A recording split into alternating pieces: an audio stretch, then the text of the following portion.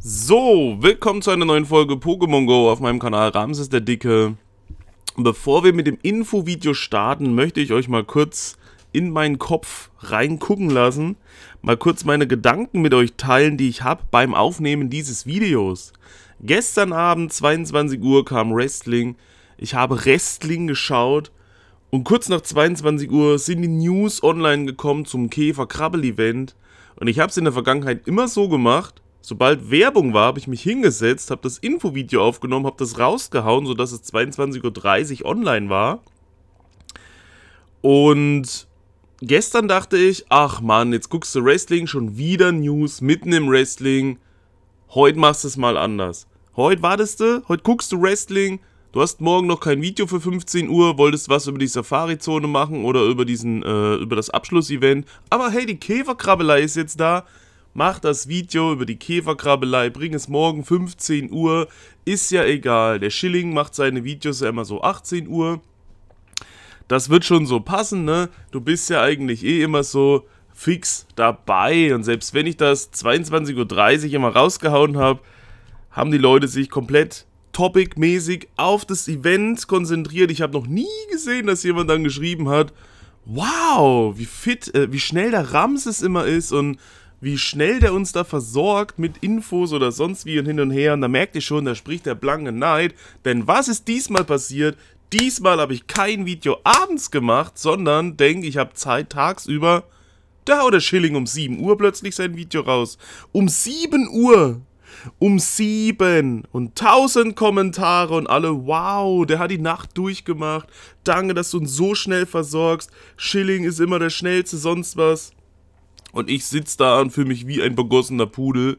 Aber es hätte ja nichts geändert. Selbst wenn ich es 22.30 Uhr gemacht hätte, es hätten ja trotzdem die Leute nicht gesehen. Der hat natürlich mehr Zuschauer, also mehr Leute, die auch mehr kommentieren, wo auch mehr solche Kommentare auftreten. Und hier, ihr redet nicht darum, wie schnell ein Video online ist oder nicht. Ihr befasst euch mit dem Video und das passt ja. Gibt außerdem also keinen Grund, irgendwie sich benachteiligt vorzukommen, aber irgendwie macht sich in meinem Kopf immer irgendein irgendein Konkurrenzkampf breit, total unnötig. Ich kann das nicht ausstellen.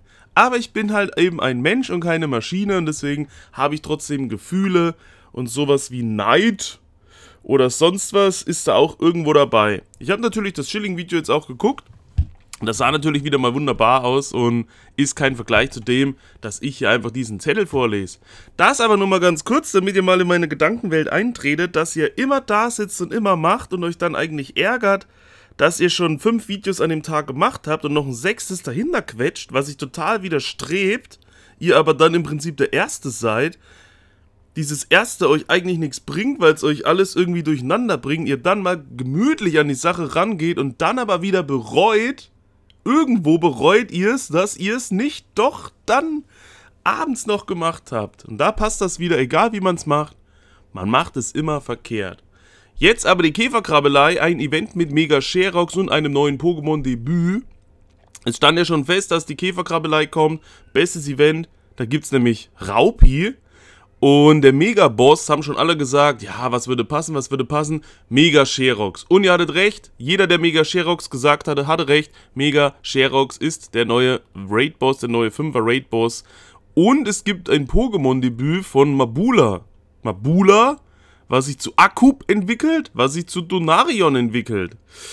Für 25 Bonbons kann man Mabula zu Akub entwickeln und dann mit 100 Bonbons, aber in der Nähe eines Magnetmoduls, kann man Akub zu Donarion entwickeln.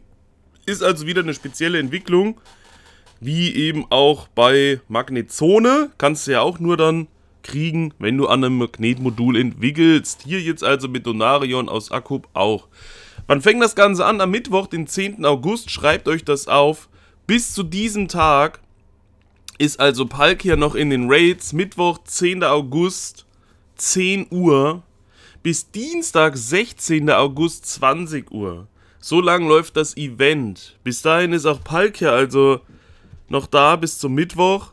Dann habt ihr ja wieder diesen Wechsel. 10 Uhr, 11 Uhr, ab 10 Uhr können die neuen Eier erscheinen, ab 11 Uhr sonst was. Wir müssen also nächste Woche Mittwoch eigentlich einen Community Raid machen, dann mit Genesect was reinkommt. Wir können also am Dienstag theoretisch nochmal Raids für Zuschauer machen mit Palkia. Ich weiß nicht, ob das noch nötig ist, wie sehr noch Palkia gebraucht wird. Und dann eine Woche, Mittwoch bis Dienstag, die Käferkrabbelei. Und da wird auf jeden Fall am Donnerstag mega Sherox Raids für Zuschauer stattfinden im Event. Das werden wir einmal machen, dass alle da drauf gehen. Ihr braucht mittlerweile ja, glaube ich, nur noch einen einzigen Mega Raid machen. Dann kriegt ihr sowieso über 200 Mega Energie und könnt das schon entwickeln.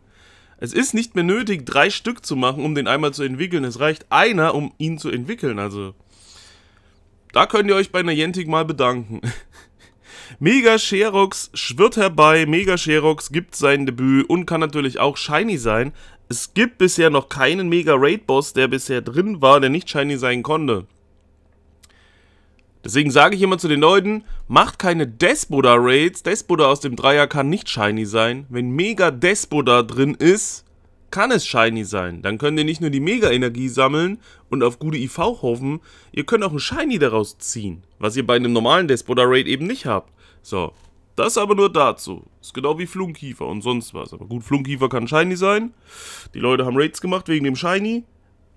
Hätte man warten können bis zum Mega Raid, Mega Flunkiefer mit Shiny und aber auch Mega Energie und allem drum und dran. Also fragt nicht. Es wird auch dort im Titel dann stehen Shiny, Mega, Sherox, Raids für Zuschauer am Donnerstag. So ist jetzt mein Plan, weil der eben Shiny sein kann. Eine krabbelige Sammlerherausforderung. Es wird wieder eine Sammlerherausforderung geben, wo man wieder noch ein paar Items bekommt. 15.000 EP, sonst was hin und her. Boni für Gruppen, das ist jetzt mal ganz interessant. Wenn ihr, wenn drei oder mehr Trainer vor Ort an einem Raid-Kampf teilnehmen, den man sicherlich gewinnen muss, erscheinen in einem 300 Meter Radius um die Arena herum für 15 Minuten noch mehr wilde Käfer-Pokémon einer bestimmten Art. Das Pokémon ändert sich aber pro Tag. Am ersten Tag am Mittwoch. Also, ihr müsst einen Raid vor Ort machen und es müssen mindestens drei Spieler diesen Raid machen. Und wenn die den Raid zu dritt machen, erscheint für 15 Minuten dann am Mittwoch, am 10. August, Waumpel im Umkreis von 300 Meter um diese Arena rum. Ganz vermehrt Waumpel. Am 11. August wird es Raupi sein, am 12. August Weberak, am 13. August Toxipet, am 14. August Zirpurze, am 15. August Hornliu und am 16. August Ladybar. Alle diese Pokémon können Shiny sein. Wer also noch einen Käfer davon unbedingt als Shiny braucht, nutzt das, nutzt das Käfer-Event allgemein oder wenn ihr eh einen Raid macht mit eurer Truppe, wenn ihr sagt, wir machen unseren täglichen Raid-Pass weg für Genesec, wir treffen uns zu dritt an der Kirche, machen Genesec Raid und ihr könnt 15 Minuten lang dann Raupi farmen, um diese Kirche herum, im Umkreis von 300 Meter. Das ist auf jeden Fall genial. Da fällt auch auf, Toxipate ist das einzige Pokémon, was hier steht, was bisher noch nicht als Shiny verfügbar war und durch das Event jetzt als Shiny eingeführt wird. Event Boni, ihr erhaltet doppelt so viele EP, wenn ihr Pokémon mit einem guten, großartigen oder fabelhaften Wurf fangt. War doppelt so viel? Sind die verrückt? Da rastest du ja wieder aus, wenn du einfach fabelhaft triffst, ja. Überraschende Begegnungen, bitte lächeln, wenn ihr während des Käferkrabbelei-Events einen Schnappschuss macht, könnte überraschend ein Käfer-Pokémon vorbeischwirren.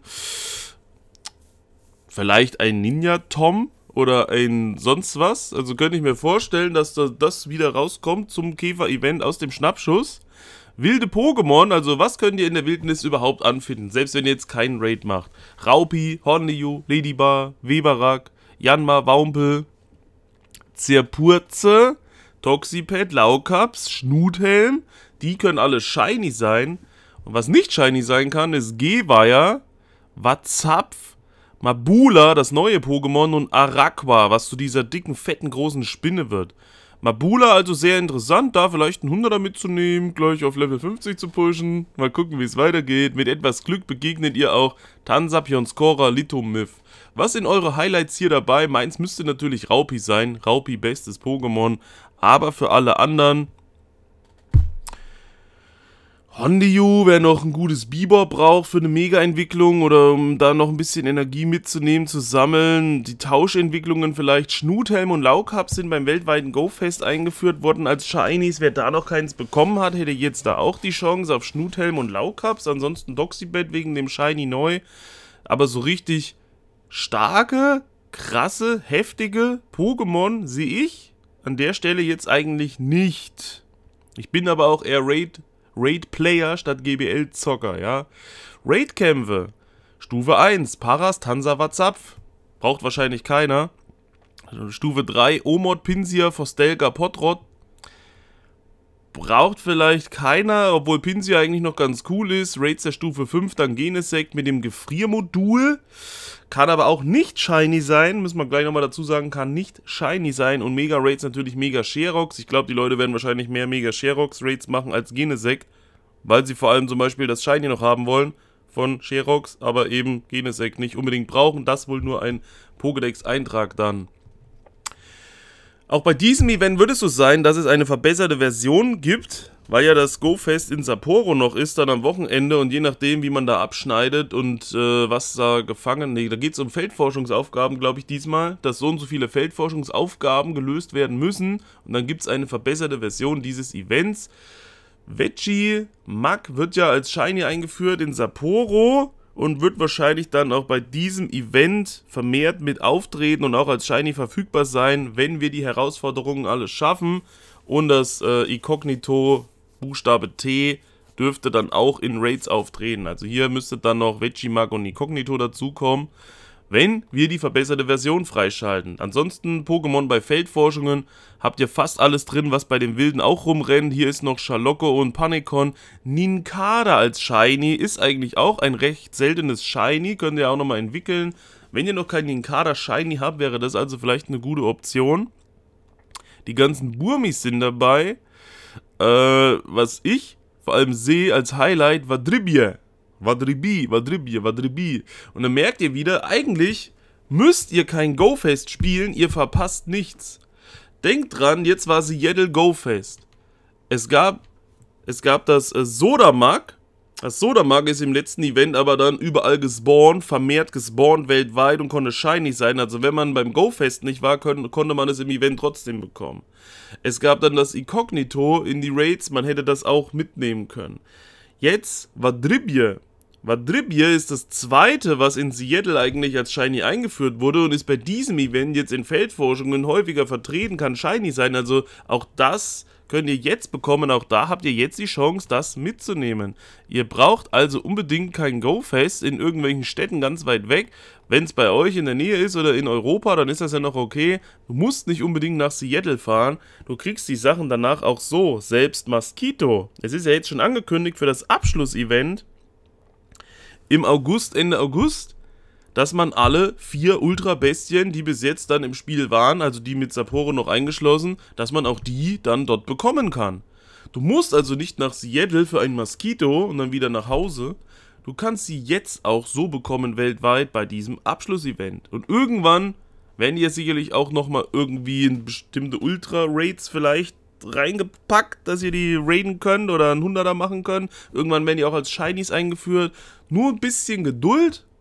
Macht euch nicht kaputt, ne? Äh, ihr müsst nicht alles immer sofort haben. Das kriegt man auch nach der Zeit hinterhergeworfen. Je mehr einem noch fehlt, desto besser findet man die Events, weil man sagen kann, man hat fünf verschiedene Ziele, die man erreichen kann, als dass man sich nur auf eins konzentriert, weil man nur das eine braucht. Besser, ihr braucht mehr, als dass ihr weniger braucht. Da habt ihr auch noch mehr, wo ihr auch belohnt werden könnt. Ansonsten, ja, stabiles Event, würde ich sagen. Vielleicht jetzt nicht das krasseste, aber neues Pokémon erstmal da zum Sammeln und Entwickeln, das macht immer Spaß. Männlich, weiblich und natürlich auch Lucky-Eintrag muss her. Mega Sherux bringt ein bisschen frischen Wind rein. Raupi ist der Boss, Toxipet, Shiny da. Was sind eure Favoriten? Auf was freut ihr euch am meisten in dem Event? Schreibt es mal in die Kommentare. Sonst würde ich sagen, war es das von meiner Seite aus. Wir sehen uns beim nächsten Mal. Bis dahin, Peace out, Vorhaut, euer Ramses. Tüt, tüt.